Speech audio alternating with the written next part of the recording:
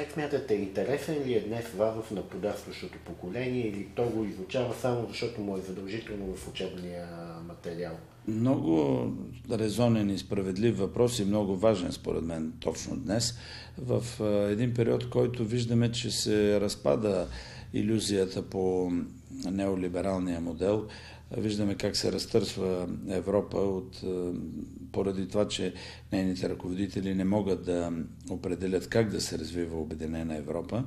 И ние знаем и виждаме, че последните години много силно се засилиха гласовете на онези, които твърдяха, че трябва нашето общество, пък и нации като нашите по-малки, да се откажат едва ли не от националния си характер, определеност, менталитет.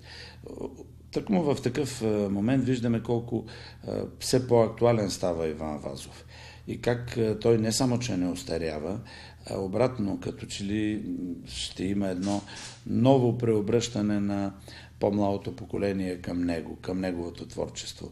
Помните, че преди 10 на години имаше едни глупави твърдения на някои псевдо университетски преподаватели, които твърдяха, че езика на Вазов, а и на Ботев бил неразбираем. Публицистиката му била остаряла, имало много турцизми. Разбира се, това е несериозно, защото Вазов издига на недосегаеми висоти български язик и включването на тези русизми, турцизми или арабски изрази не е привнесено, то е органично.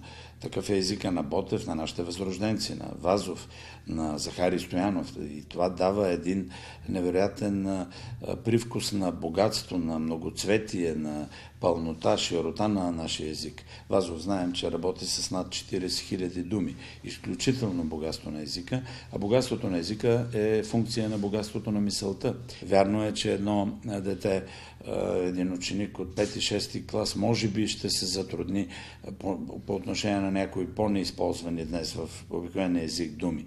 Но за тая работа има речници, които могат даже да обогатят впечатленията на младия човек. В тази връзка имате ли обяснение защо Симеон Радев не се изучава в училищата? Той си е класик.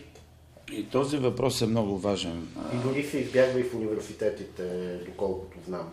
Аз мисля, че отговор е, е същия, който дадохме преди малко, защо се неглижираше Вазов.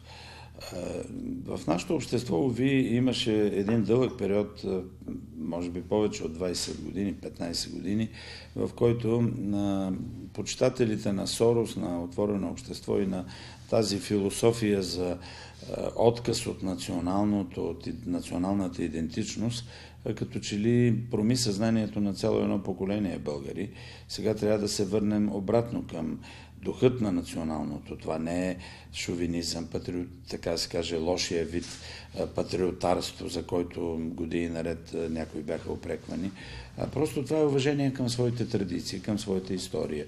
И, и, и не е антиевропейско, да. Все едно на един французин да му обясним, че трябва да се откаже от Балзак, от Юго или един германец от Шилер и Гьоте. Няма как да се откаже. Там е, в това е германската и френската нация. При нас Вазов и Семен Радев. И много е резонен вашия въпрос. Крайно време е да се изучава Семен Радев в училище. Най-малкото с неговата удивителна книга Сторители на съвременна България. Истинският европейски дух е, владее само този, който първо и преди всичко усеща любовта към своята родина. Затова, например, Вазов или Раковски са били по-европейци, понеже са кръстосвали цяла Европа и са обичали до смърт своето отечество. Те казват свобода или смърт, заедно с Левски. И те са повече европейци от някои днешни наши писма на европейци, които казват съкън, откажете се от националното, патриотизма е лоша дума.